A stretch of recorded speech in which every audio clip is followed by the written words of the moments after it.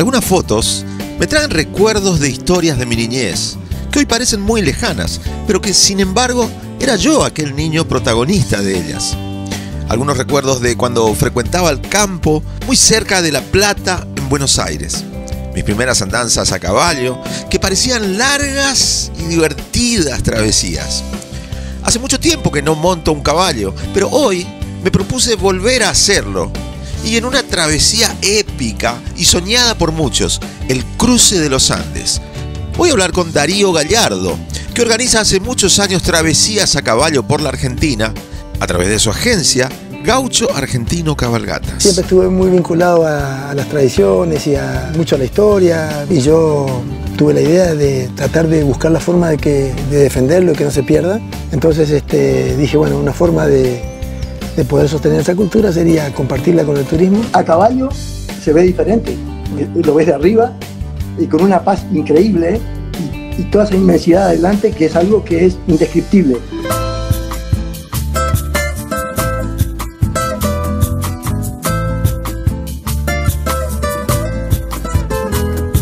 cuando yo veo la foto, no me significa mucho de lo que yo he vivido.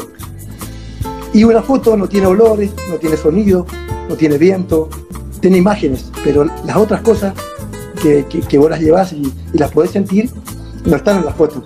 Esa es la experiencia en vivo de disfrutar cada lugar.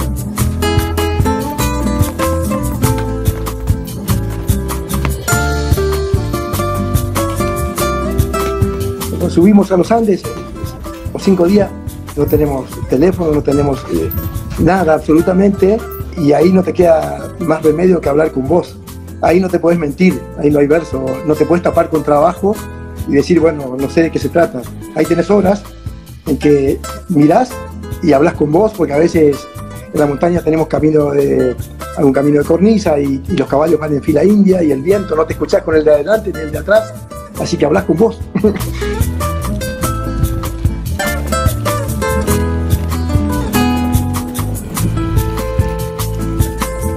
llegás al campamento, todos colaboran, terminamos siempre siendo amigos de nuestros clientes y, tenés que mirarte a los ojos y hablar. Te cambia la perspectiva y cómo vivir, cómo mirar las cosas, las cosas que querés, las cosas que apreciás. Apreciás cosas tan simples, pero tan puras y reales.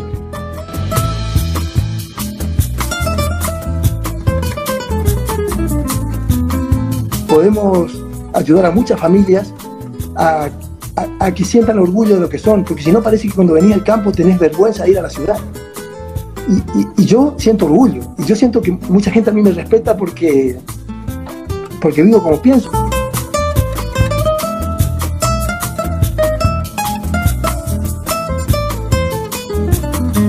Mucha gente respeta que uno esté orgulloso de una cultura. No importa si es buena, mala, grande, chica, no importa es ser orgulloso de algo. Yo soy orgulloso de ser correntino.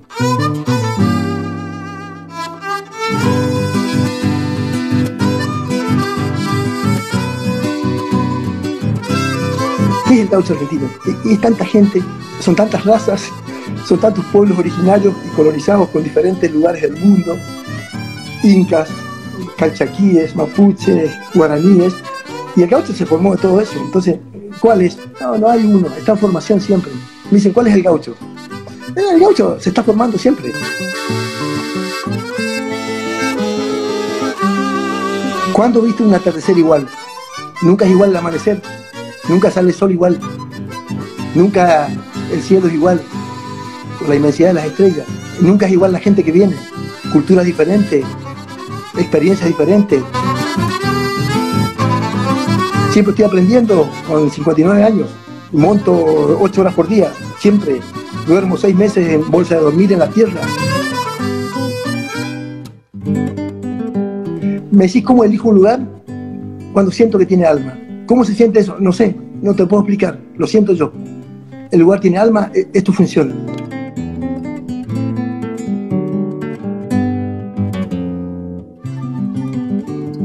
Cuando vos viajas, hay cosas que son que, no puedes dejar de, no tenerlas en cuenta. Lo que ves, con quién compartís, lo que comes, lo que bebes. Si eso funciona, el éxito siempre está asegurado.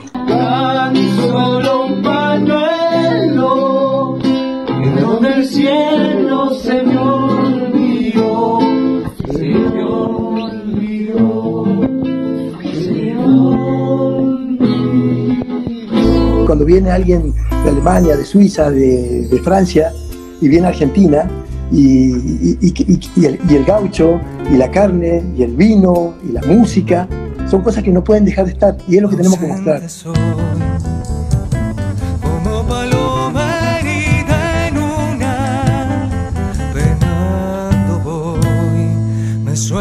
Tenemos todos los paisajes, todos los tipos de clima, gente increíble.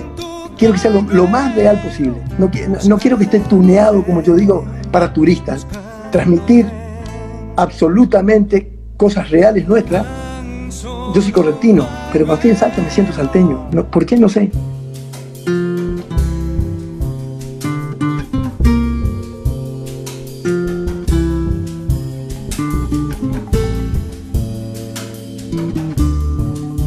Cuando ves una cadena de 40 kilómetros de 8 o 9 colores y podés mirarla 20 horas por día y no te vas a cansar nunca, es increíble. Seguimos respetando las costumbres y las comidas. Eso es fundamental para mostrar nuestro país en, sus distintos lugares. Y cuando recibimos este, clientes, ya sean argentinos o extranjeros, pueden vivir una experiencia auténtica y real de cómo se vive o cómo vive el gaucho actualmente en nuestro país.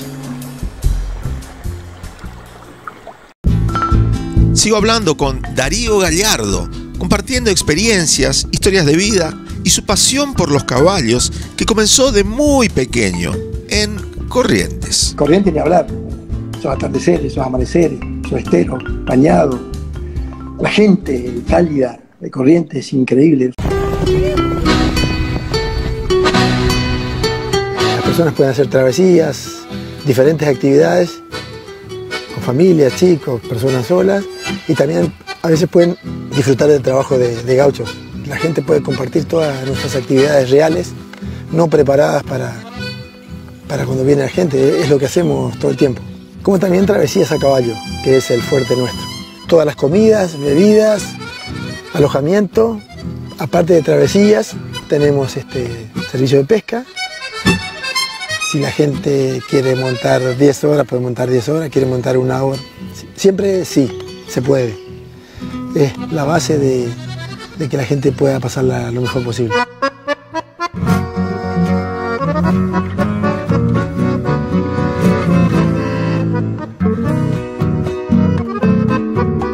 Nosotros tenemos gente todavía en, lugares donde estamos en los campos que, que, que hablan el guaraní.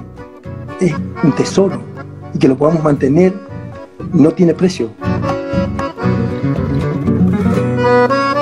Nuestra empresa es familiar, pequeña, y tratamos de mantener siempre nuestras tradiciones, costumbres, nuestras comidas, nuestra música, y de esa forma poder mostrar un poquito nuestra Argentina. En la esquina tenemos como base la estancia la estancia, sea la estancia La Pelada, estamos por muchos años. también salimos a veces a refugios en casa de gauchos donde hacemos noche cuando se tratan de travesías. La estructura de la estancia está funcionando por muchos años con clientes, entonces este, realmente es placentero y el lugar es increíble. Estamos a orillas del río Corrientes, que es un río que nace en el interior de Liberá y desemboca en la proximidad de la ciudad de Esquina.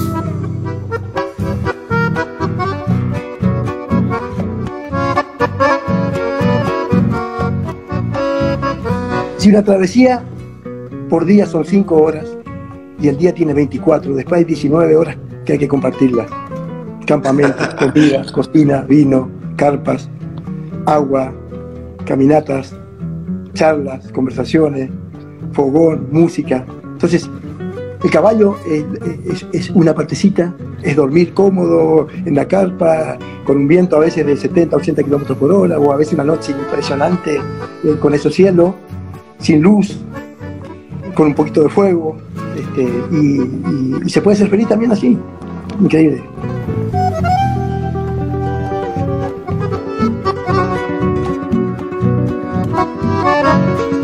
creo que uno debe estar predispuesto, y no te digo físicamente, no te digo que sea un entrenamiento, sino predisponer el alma. Como vos decías que los lugares los elegís por el alma del lugar, me parece que uno tiene que predisponerse antes de emprender ese viaje. Uno tiene que, eh, algo tiene que pasar por adentro de uno para decir sí quiero hacer este viaje y obviamente algo mucho más grande termina pasando dentro de uno cuando uno está en el viaje, ¿no? Yo, yo siempre trato cuando que, una travesía no es, no llegas al auto, bajás, que venías a 120 o 130 y subís a caballo con ese estrés. No sirve. No. Yo los hago llegar un día. Iremos a una peña de Salta, Bohemia. Iremos a, a, la, casa de un maquiano a comer un cabrito al horno en el patio con esa familia. Ya la gente empieza a entrar eh, eh, eh, en otro ámbito.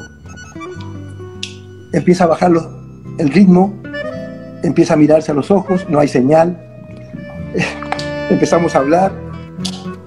Cuando llegamos al momento de subir al caballo, pasaron 24 horas y ya estás con otro ritmo eh, eh, en el corazón.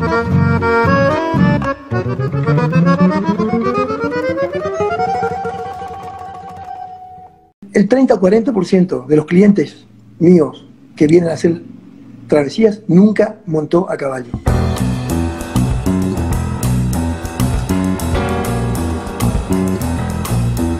Eso te da la pauta de lo que trabajamos, seleccionamos los caballos, la montura, qué caballo le damos a el, que no tuvo experiencia, entonces lo ponemos al lado de un vaqueano, adelante.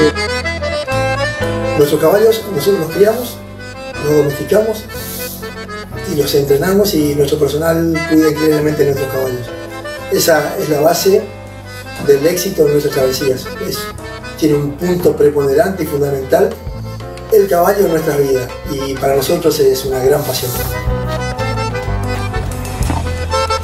Los cojones de la mula llevamos todo, muy buen vino, que producimos nosotros con mi marca, que se llama Alma Líquida.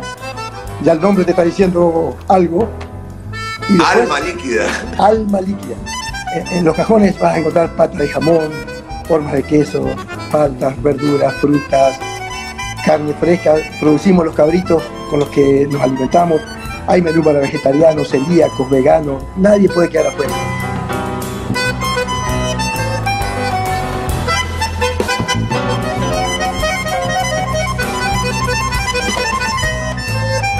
Normalmente en los hitos hay como un cartel de metal, es una torre de metal que tiene un cartel que dice Argentina de un lado Chile del otro. Ese sería nuestro límite por temas, por temas digamos, de sanidad y todo, no podemos pasar a Chile con caballos ni con comida. Voy a llegar al, hito con un canadiense o un sueco y que se ponga a llorar ahí cuando no es su país y, nadie habla y, todo es silencio y, hay esa emoción, decir, es de loco. Y eso pasa muy seguido.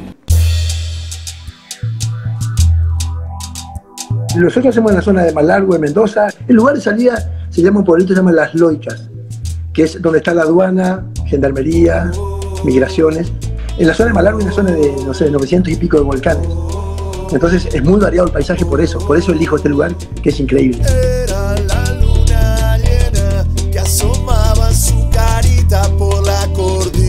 Entre ida y vuelta está incluido el límite cinco días. No, hay horario. Cuando a veces Alemania me dice, bueno, poneme hora por hora del día, le digo, estás viniendo a un mal lugar. Eh, venir de vacaciones, es relajarse.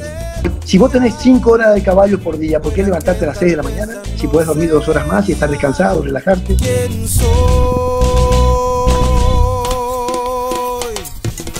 Cuando lo subo del aeropuerto hasta que llegamos a la montaña, es folclore chamamé. No se puede escuchar otra cosa. No, no existe.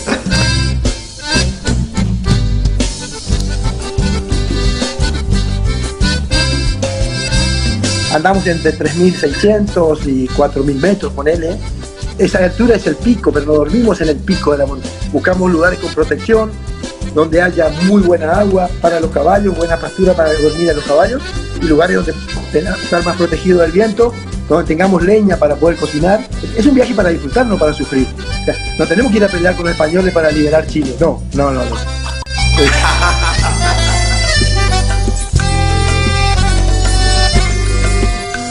Se trata de ir a un lugar que vos sientas que estás en la nada, que todos los días el paisaje sea diferente y no monótono, y que yo pueda manejar los terrenos donde no pueda fallar la logística ni la seguridad.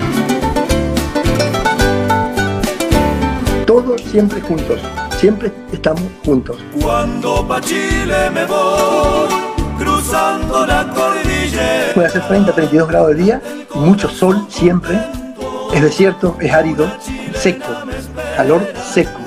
Y a la noche puede hacer 0 grados, 10 grados.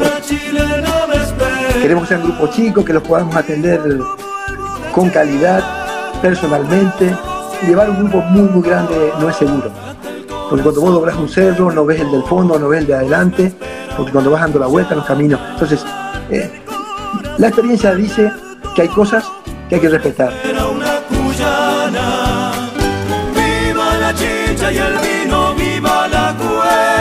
Nosotros todo el año, todo el año hacemos travesía. Si ahora no estaría la pandemia, estamos a full en Corrientes. Y después en Salta, después en los Andes y volvemos a Corrientes. Y, y todo el tiempo es así.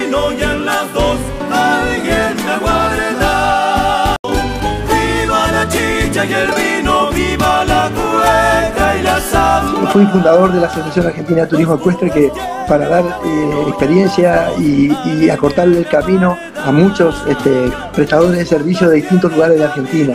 Esto lo parí desde cero, así que conozco desde atar los cordones y, y ensinar un caballo hasta cocinar y hasta disfrutar. Me despido de Darío, pero me acerco un poco más a esas costumbres tan argentinas, saludos a todos. tan nuestras, tan propias del hombre de campo, ese que está en todo el país y del que, al igual que Darío, siempre está dispuesto a una gauchada. Espero que hayan disfrutado del programa tanto como yo. En lo que yo pueda ser útil, cuenten conmigo.